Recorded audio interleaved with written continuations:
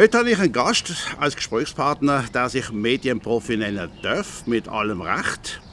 Ich bin äh, stolz, dass wir bei ihm dürfen im Garten sitzen und Gespräche führen. Es ist kein geringer. In Basel kennen sehr viele, um nicht zu sagen fast alle. Es ist der Roger Thierry.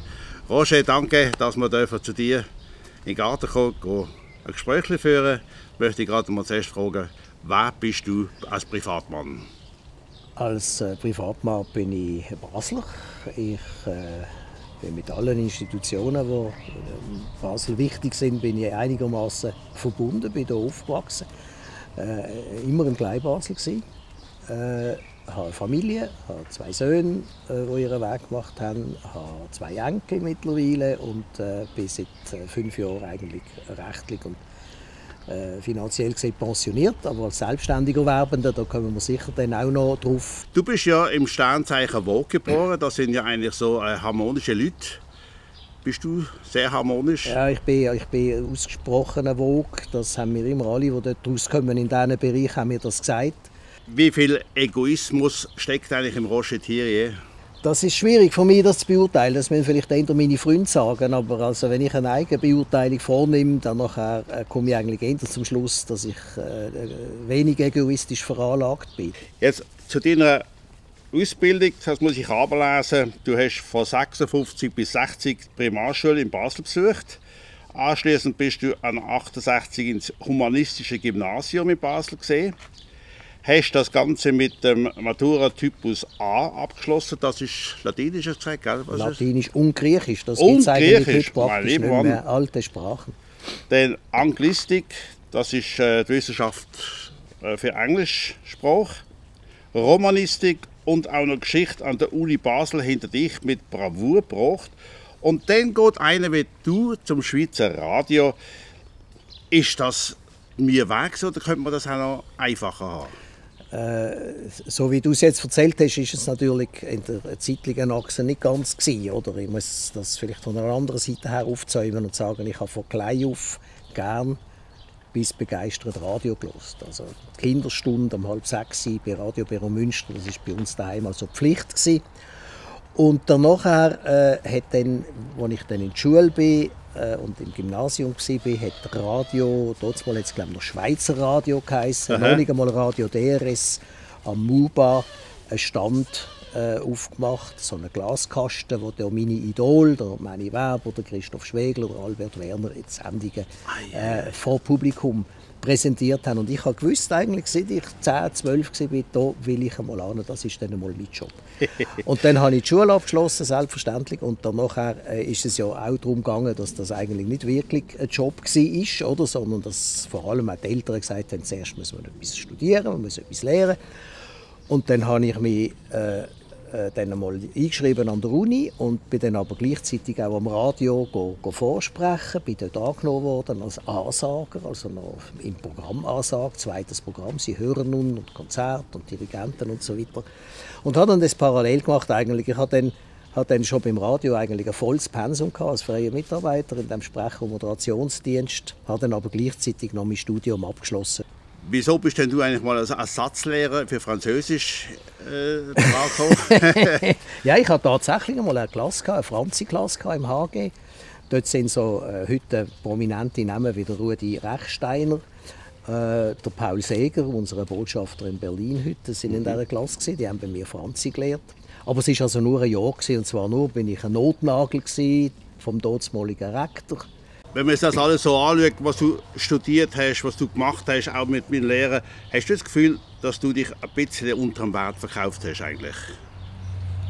Nein, das äh, habe ich ganz klar nicht. Ich habe eigentlich immer das gemacht, äh, was ich gerne gemacht habe, was ich auch wollte und meine Ziele erreicht, haben wir sie auch immer wieder neu gesetzt. Ich habe praktisch äh, so alle sieben Jahre, wenn ich meine, meine Laufbahn anschaue, etwas anderes gemacht. Und dort, wo ich gesehen bin, bei dem, was ich gemacht habe, ist es mir immer wohl gewesen.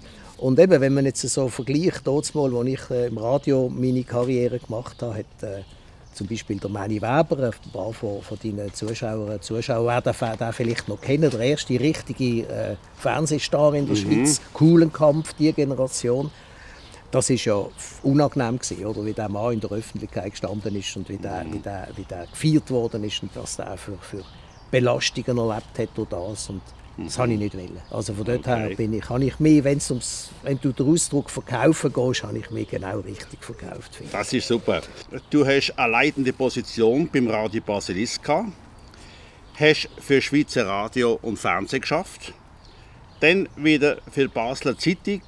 Mir scheint, dass du eine sehr hektische, stürmische Zeit gehabt hast. Was genau hast du eigentlich dort beruflich gesucht? Meine, wenn du all die Sachen machst, ausprobiert, irgend, weißt, jeder andere sagt ja, er will jetzt Maurer werden oder Bäcker werden oder was weiß ich was. Aber du hast so viele Stationen hinter dir. Was ist eigentlich dein Ziel? Gewesen? Ich habe einfach in den Medien arbeiten. Oder? Mhm. Und ich habe das Glück gehabt, in einer Zeit äh, jetzt aktiv zu sein und mein Berufsleben äh, zu haben, wo in den Medien natürlich wahnsinnig viel passiert ist. Und von dort her, ich bin kaum beim, beim äh, Schweizer Radio als freier Mitarbeiter, bin ich dort fest angestellt gewesen. Kaum bin ich dort gewesen, hat man äh, gemerkt, oha, jetzt kommen die Privaten, jetzt müssen wir DRS3 konzipieren, man muss hier Gegensteuer geben. Dann noch, als das DRS3 auf der Beine gestanden ist, habe ich gemerkt, das ist, für das bin ich eigentlich zu alt und für das, was nachher auf DRS1 weitergelaufen ist, eigentlich zu jung. Dann habe ich den Ruf gekriegt zu Radio Basilisk und kaum bin ich dort etabliert gesehen und habe dort das mit dem Hans-Rudi Ledermann und Christian Heb zusammen auf den Weg mhm. gebracht, ist der Ruf von diesen äh, Kollegen und von der Basel Zeitung eine Fernsehinfrastruktur auf beide stellen. Dann habe ich, äh, bin ich der erste Leiter elektronischer Medien bei der Basel Zeitung. Also ich habe nicht, ich habe schon wahnsinnig viel gemacht, aber es hat auch immer gemacht mit mir, oder? Also die Medienentwicklung, die schnelle äh, äh rasche Wandel in diesem äh, Segment hat mich natürlich einfach hat, hat mich mitgetragen. 1995 bist du Dreibuchautor von dieser tollen Seifenoper Café Ball. Ich habe es auch immer noch gerne geschaut und irgendwann ist das einmal fertig gesehen. Wieso ist eigentlich das Bach abgegangen? Ja, das ist natürlich nicht mal abgegangen. Also mein Café Ball ist eine der erfolgreichsten Sitcoms in der Geschichte des Schweizer Fernsehens. Wir haben 150, ja. wir haben in 10 Jahren haben wir 150 Folgen produziert. Alle 14 Tage eine aktuelle Folge. Ich habe alle 14 Tage ein Dreibuch von, von, von 90 Seiten äh, geschrieben für 25 Minuten. Das hat noch sogar die dort mal populärste äh, Sitcom «Fast eine Familie» von Charlie Lewinsky geschlagen. Die haben es nur auf 99 gebracht, wenn ich mich recht erinnere. Oder? Also dass so ein Format, dass das zehn Jahre läuft und dass das zehn Jahre Erfolg hat, äh, das ist für Schweizer Verhältnisse außergewöhnlich. Also das, äh, wenn du jetzt schon sagst, ich würde mich unterverkaufen, da muss ich jetzt sagen, da haben wir also eine super Arbeit geleistet. Seit 1998 besteht die Einmannfirma wie heißt die Rochetirie Texte? Ja. Was passiert denn da genau? Ja, das ist ja ganz lustig, oder? Also ich habe dann, als ich dann äh, auch wieder neben äh, meiner Tätigkeit bei Radio Eviva, das habe ich dazwischen auch noch gemacht, äh, nach der Basilisk und der Basler Zeitung bin ich auf Zürich zur Radio Eviva, habe dort Volksmusik und Volkskultursender aufgebaut für Kurti Medien und parallel dazu schon im, im Nachfolger bei der Basel Zeitung, im Pauli Burkhalter, zugesagt, ich würde ihm helfen, so eine Sitcom zu konzipieren und äh, entsprechend dann auch drei Bücher zu schreiben. Und für das hat man mir geraten, aus steuerlichen Gründen oder eine Firma zu gründen. dann bin ich einmal, ich dachte, yes, es geht so eine Firma gründen, oder? Ja. Und äh, dann bin ich einmal an der Martinsgasse vorbeigelaufen, das Handelsregisteramt war dort. Und das ist, das heisst, geöffnet bis 11 Uhr und es war 2 vor 11 Uhr. Und nachher ähm, bin ich dort rauf und habe, habe angeklopft und bin rein und äh, habe gesagt, ja, ich weiß vielleicht, Sie machen gerade zu, aber ich will gerne eine Firma gründen, was muss ich machen? Ich gedacht, er gibt mir jetzt einen Zettel, wo ich dann kann, muss studieren oder ein dreiseitiges Werk und so. Dann hat sie einen Zettel genommen und gesagt, und wie soll die Firma heißen? Aha. Dann gesagt, ja, kann ich das jetzt gerade machen? Ich gesagt, ja, das machen wir jetzt gerade. Und dann habe ich mir etwas aus den Fingern saugen, oder? Und weil ich gewusst habe, ich gründe die Firma, äh, zum, zum die drei Bücher zu schreiben und vielleicht dann später aus dem heraus noch äh, andere äh, Arbeiten, die sich aber vor allem mit, mit Text, ich bin kein Mann vom Bild, ich bin ein Mann vom Text gewesen, mhm. immer, oder? Mhm. Und vom mhm. Wort. Also habe ich gesagt, Roger Texte. Gut, die drei Bücher und das, was du alles geschrieben hast, hast eine gefragte Sache in diesem Fall. Also bist du ausgelastet gewesen? Bist du gut beschäftigt oder mit, mit Film Fernsehen, äh, drei Bücher und so weiter. Ja, ich sage immer, ich sage immer, ich habe, ich habe 100, 150 oder 140 Prozent geschafft, oder? wenn ich das alles wirklich nach 42,5 Stunden äh, zusammengezählt habe, normale Arbeitszeit. Aber äh, das ist ja so, wenn man selbstständig ist. Und das andere, was ich auch immer gesagt habe auf so Fragen, ich habe nicht in meinem ganzen Leben kein einziges Akquisitionstelefon machen. Bin ich sehr dankbar. Aber durch meine Tätigkeit bei diesen vielen Medien vorher hatte ich natürlich ein breites Beziehungsnetz. Gehabt. Man hat gewusst, was ich mache und was ich kann. Also im Gegensatz zu jemandem, der neu anfängt, äh, habe ich da also nie ein Problem gehabt. Hast du ein spezielles Drehbuch gemacht, wo du sagen das ist besonders erfolgreich gesehen? Puh, ja, also ich habe, also natürlich die Kaffeeball Drehbücher sind eigentlich äh, die Grundlage von der ganzen Firmengründung, auch habe ich jetzt ja gerade gesagt.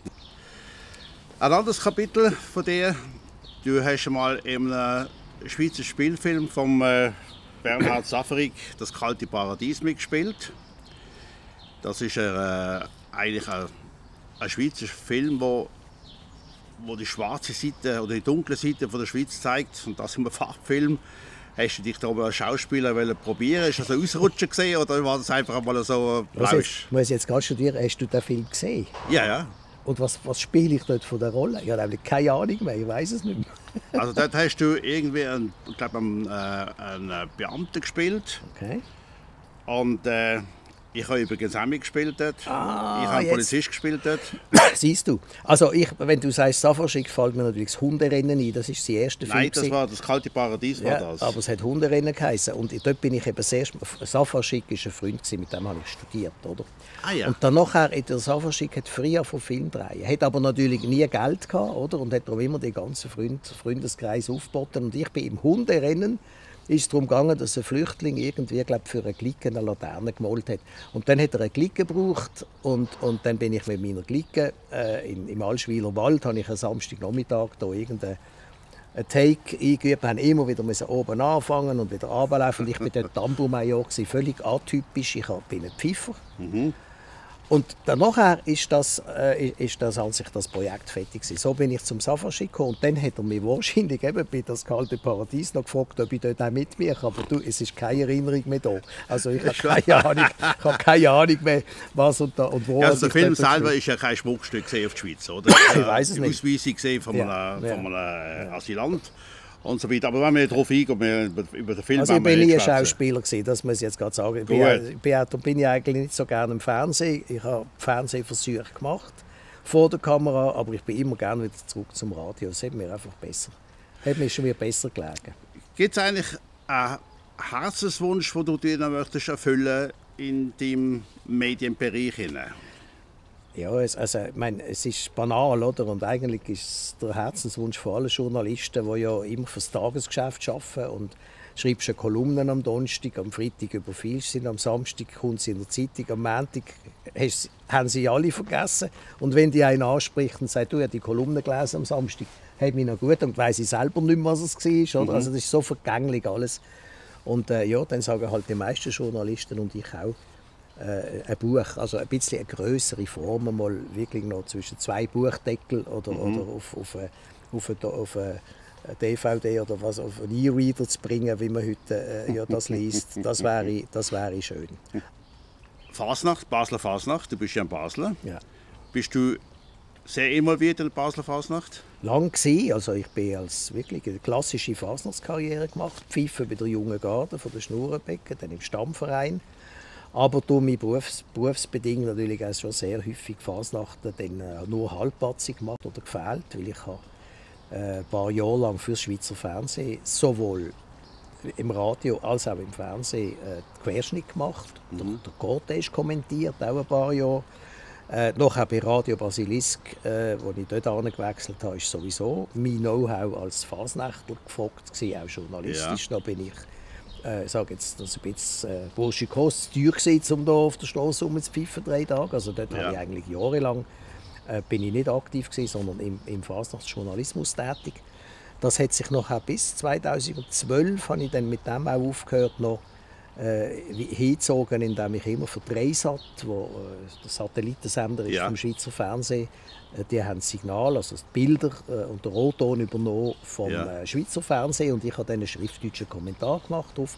Also ich bin, ich habe die Fasnacht sowohl als Aktive äh, immer erlebt, 50 Jahre jetzt oder noch länger, habe es aber auch immer als Journalist begleitet.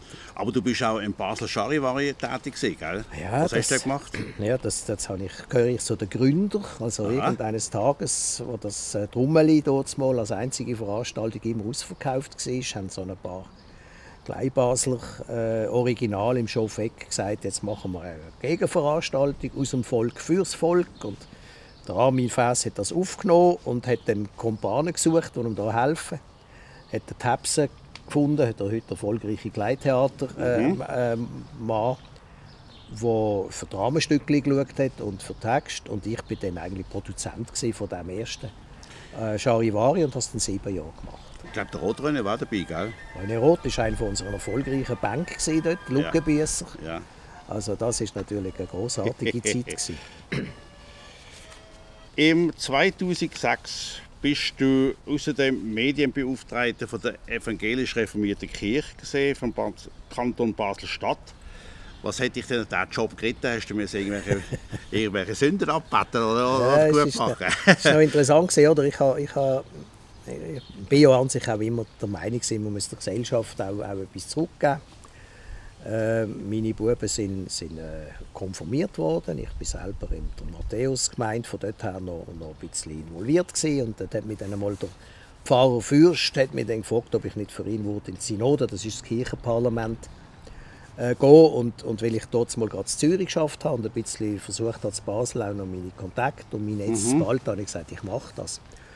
Und bin dann äh, ein paar Jahre in dieser Synode gewesen und habe dann auch geholfen, dort der neue äh, Kirchenratspräsident, der Lukas Kundert, äh, zu wählen. Und äh, ja, man hat dann dort Kontakt.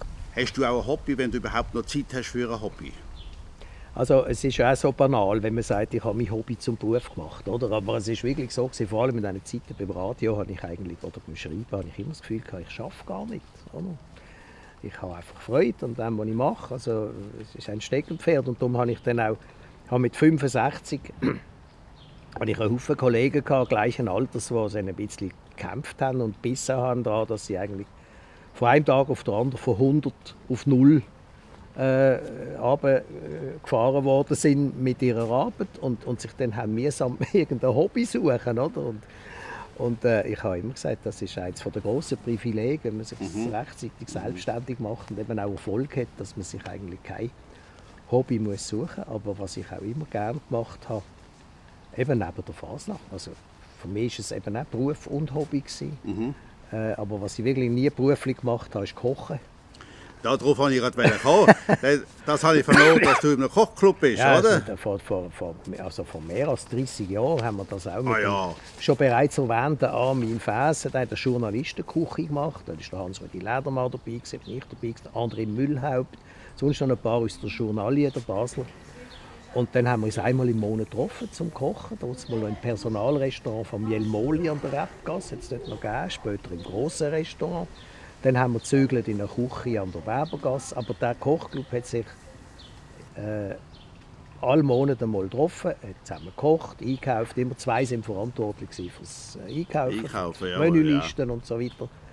Das hat sich bis auf den heutigen Tag, wir kochen jetzt nicht jeden Monat kochen, es ist auch eine andere, eine andere äh, Crew jetzt, sind andere Mitglieder in ja, Das hat sich ein bisschen geändert. Es hat sich geändert? Ja, Personal hat sich verändert und ja, ja. kochen jetzt bei der Jeanette Born in der Kocherei an der Metzerstraße. Machen nicht mehr alles selber. Dann machen die ja ganz spezielle Kochevents, gell?